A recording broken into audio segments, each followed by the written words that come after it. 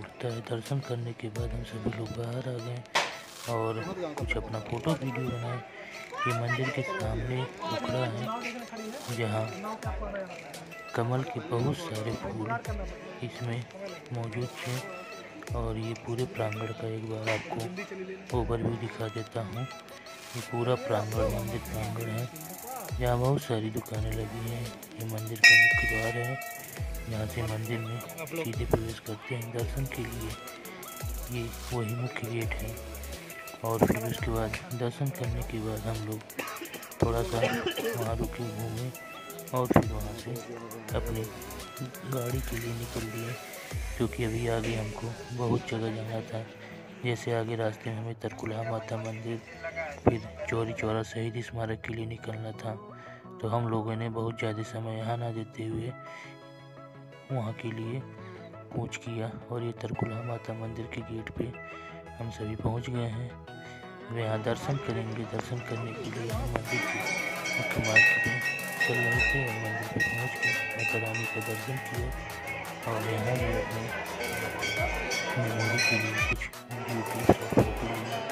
उसके फिर यहाँ से हम लोग निकलेंगे। चोरी चौरा शहीद स्मारक के लिए। आगे आप लोग देखते रहिए।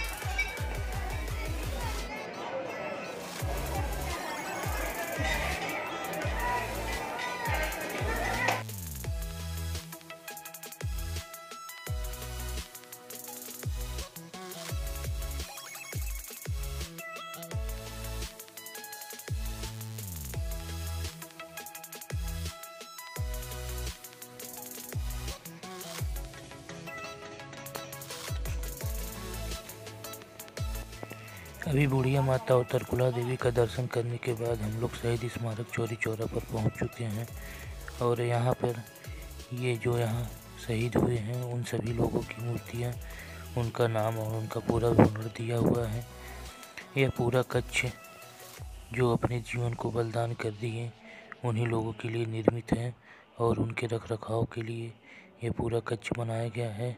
यहाँ इस तरीके की सैकड़ों जो हमारे देश के शहीद हैं, उनके स्मारक बने हुए हैं। इसीलिए इसे शहीद स्मारक का दर्जा दिया गया है और उसी शहीद स्मारक का हम लोग यहाँ दर्शन कर रहे थे और ऊपर कुछ पुराने फ़ोटो लगे हुए हैं, जो बहुत पुराने पुराने फ़ोटो हैं अपने समय के। उनका भी संरक्षण यहाँ इन मूर्तियों के ऊपर किया गया है। मेरे पीछे आप लोग देख सकते हैं। किस तरीके से ये जो पुरानी कलाकृतियाँ हैं हमारे देश की, उनको भी यहाँ धरोहर के तौर पर सहेजा गया है। आप लोग को भी दिखाने का प्रयास किया हूँ। देखकर आप लोग उससे कुछ सीख लीजिए।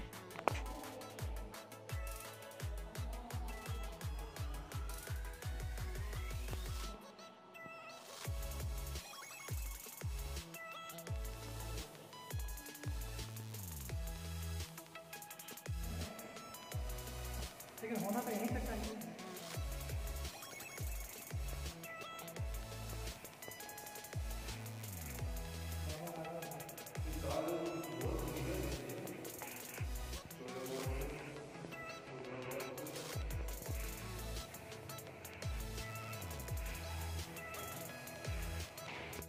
उनके उनके पास वन टाइम भेज दीजिए एक के बार खोली, दोबारा खोल कर लाई करिए।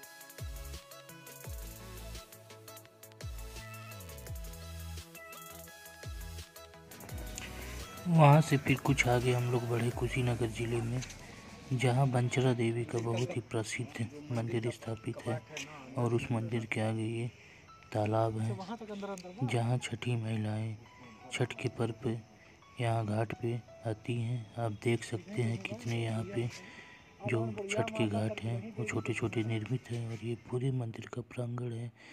उसके बाद हम लोग घर के लिए वापस हो लिए। सभी जगह का पूरे दिन दर्शन करने के उपरांत और अपने मूल जनपद संत कबीर नगर पे पहुँचने पर वहाँ गुरु तेग बहादुर जी का शहीदी दिवस मनाया जा रहा था, जिसके उपलक्ष्य में ये जुलूस निकाला गया था। और यहाँ पर सभी शहीदों की जो छायाकृतियाँ हैं, उनका प्रदर्शन किया जा रहा था और जो अपने बलिदानी गुरु हैं उनको नमन किया जा रहा था, उनको श्रद्धा सुमन अर्पित किया जा रहा था। इस कार्यक्रम में भी हम लोग जो प्रभात फेरी में शामिल हुए हैं, उनके ऊपर पुष्प वर्षा की वहाँ सम्मिलित हुए और उसके बाद फिर इस कार्यक्रम में आगे की रूपरेखा को देखते हुए कुछ क्षण यहाँ बिताएँ। इसके बाद हम लोग घर के लिए निकल जाएँगे। धन्यवाद।